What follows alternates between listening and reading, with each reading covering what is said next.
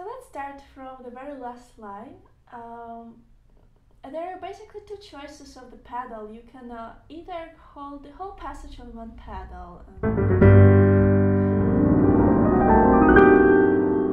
and then lift it up only on the rest. Or um, could be a better choice if you simply change the pedal on the last note as it's uh, written in the score.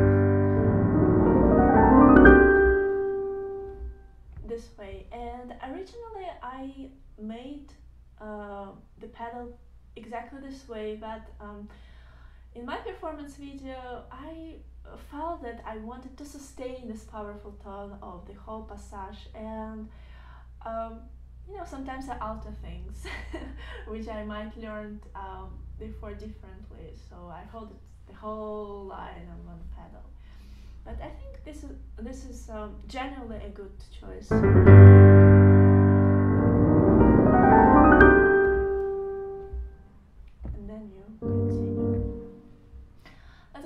Another example. Um, in this um, combination part, uh, again, if anyone is doubting uh, what to do with the pedal, you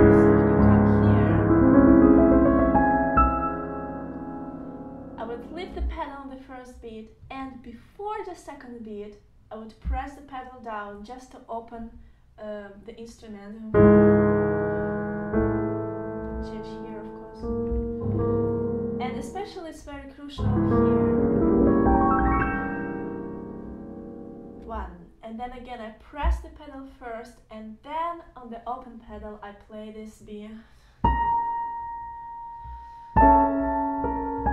So in this case, um, you know, you prepare your instrument to a round and full sound So basically what I'm saying is press the pedal just a second before you start playing second beat and beat bars. Um, let's take a look at the first page. Um, what I'm gonna say here is very simple, and most probably you you you've done it already. But uh, for some of you, it might be something new. So I'll just go ahead and tell you. So when you change the pedal, everywhere basically in this piece, don't change it uh, on the melody, change it on the first note in your accompaniment. So you play here, and then you change here.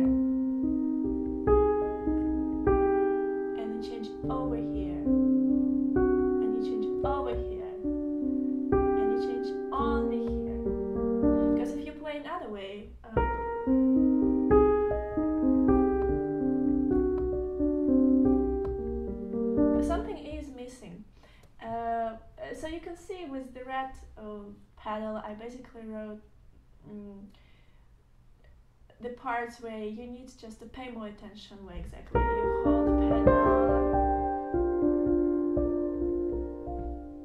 Again, you change only here. Uh, so, etc. And uh, the same on the second page.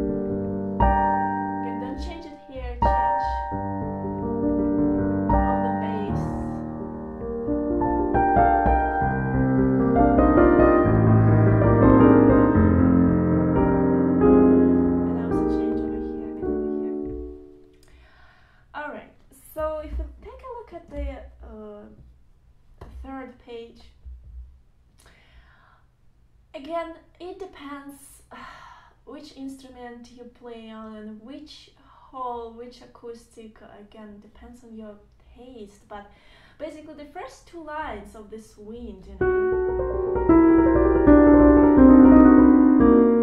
You can either uh, hold the pedal through the first two lines entirely or change it uh, in the beginning of new line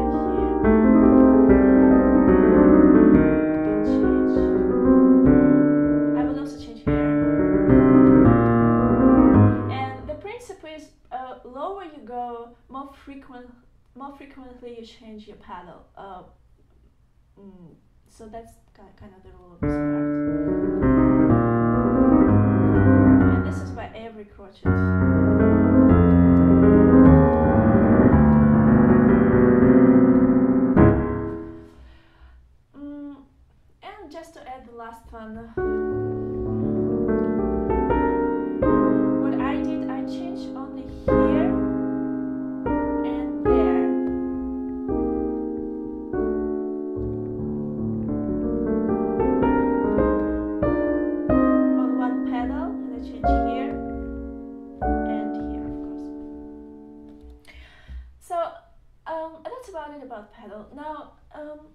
tell a couple of things about um, mm, very interesting moments that if you highlight, it will definitely benefit your playing, and everyone will be like, "Oh wow, that was really cool."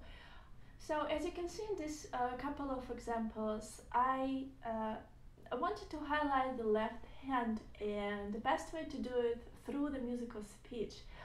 Uh, not necessarily you need to play it louder, but if you intonate with musical speech, then um, it will be more prominent, you know, naturally. And again, um, if you want to uh, make some exercises to um, to know what I'm talking about, the link is in description below. Uh, so the first one from the very end of the piece.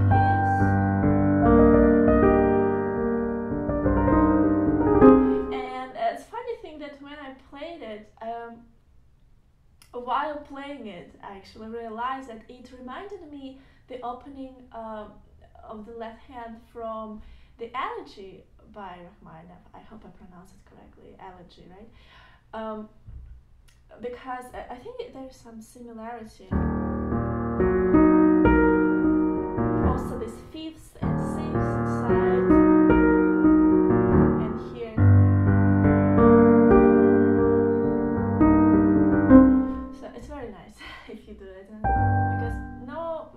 Everyone can feel it here. I think.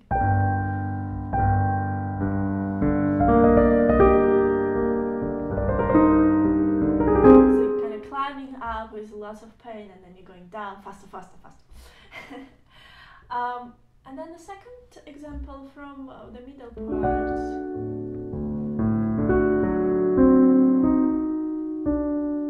It's up to you actually how you're gonna use your pedal, but the point is when you feel this octave, fifth, fourth, third, triton, third, and second through your intonation. Um, that that will increase the expressiveness so much.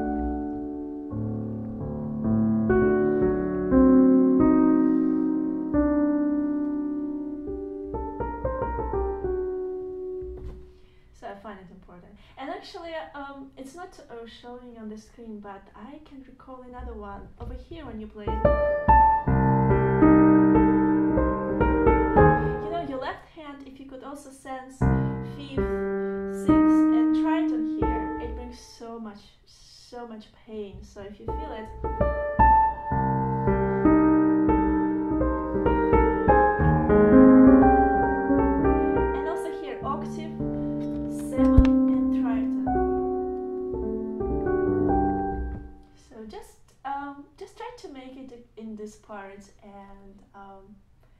it will be very nice, I think. And uh, since we're talking about expressiveness, let me also um, uh, let's just talk about harmonies a little bit and again if you you know not familiar with harmonies how to feel them and everything the link will be in the description below but um, there are a couple of places where i think you really should feel the harmonies uh, because this is kind of combination part over here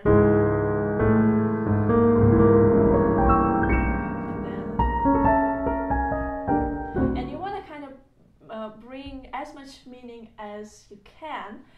Um, so start it with harmonies.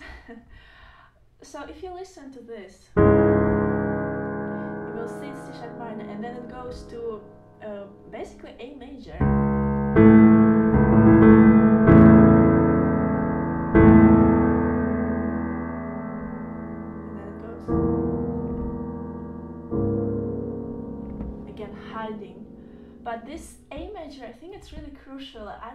Everyone can actually understand and feel it well.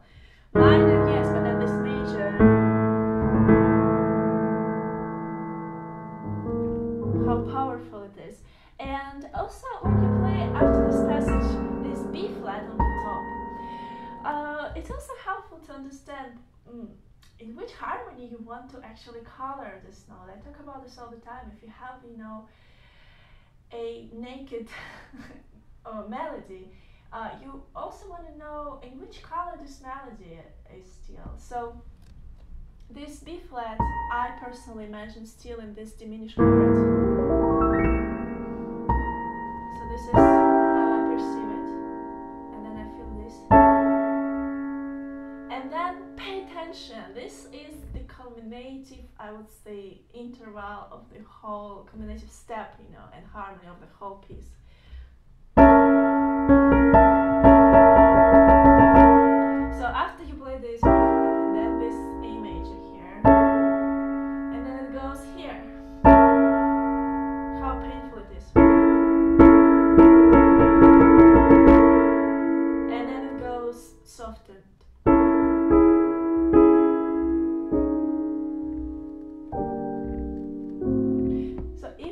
You can um, really sense and you can imagine whatever tempers you might use to imagine the notes in the color of these harmonies.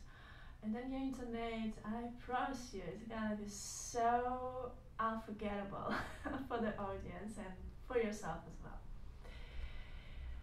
Um, and another harmony example, maybe uh, I just want to share with you because it was beautiful for me. You know, you're in this um, but you cannot say it's a sunny weather here, right? And then you go here with these seconds. And then you go here.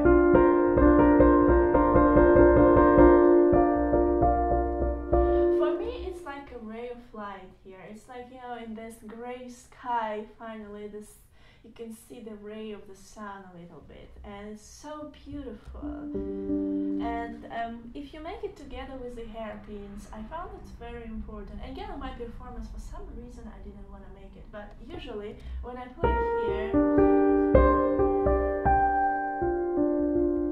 and I play it soften then uh, by softening at the end of the bar I let the whole harmony really shine